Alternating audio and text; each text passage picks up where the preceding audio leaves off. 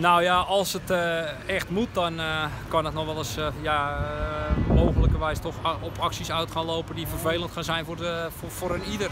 Tientallen boeren uit Noord-Holland hebben zich maandag rond het middaguur verzameld rond het provinciehuis in Haarlem. Ze zijn woedend over de provinciale aanpak van bodemdaling in het Veenweidegebied. Nou ja, deze actie die wij vandaag voeren, dat is omdat wij het idee hebben dat we, het idee, ja, we staan eigenlijk gewoon 2-0 achter door het plan wat nu door de provincie neergegooid dit raakt ons diep. En uh, ja, wij hopen door deze actie het tijd te kunnen keren, of in ieder geval uh, de provincie zover te krijgen dat we tot nieuwe inzichten kunnen komen met elkaar. Met zo'n 50 trekkers rukten de boeren op naar Haarlem om te protesteren tegen de provinciale notitie over de aanpak van bodemdaling. Volgens de boeren en LTO Noord is deze notitie gekleurd en neemt het provinciebestuur hiermee een ongefundeerd voorschot op toekomstig beleid. Waarbij de koe in de wei vervangen wordt door het teelt van natte gewassen. We zijn erg geschrokken en je wordt er onzeker van voor de toekomst. En we hopen dat het niet zo rigoureus doorgaat, want dat betekent of de koeien helemaal op stal of stoppen met je bedrijf.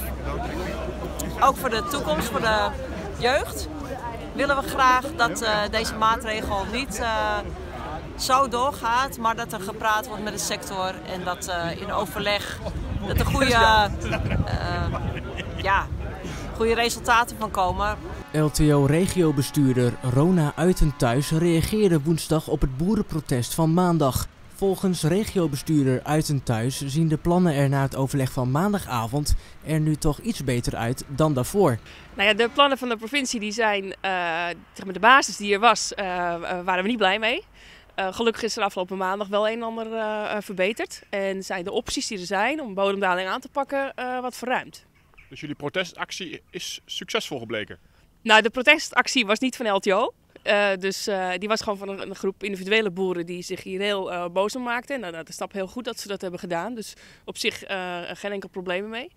Um, maar inderdaad, de inspraak en ook de, het vooroverleg en ook de contacten met statenleden hebben er denk ik wel voor gezorgd dat we um, wat meer ruimte in het, in het kader hebben gekregen. En nou ja, de gedeputeerde heeft nogmaals herhaald, het echte programma Bodemdaling moet nog worden opgesteld. Dus uh, nou ja, we hebben wel nu een afspraakverzoek in de, in de mailbox zitten om, uh, om aan de gang te gaan met hem.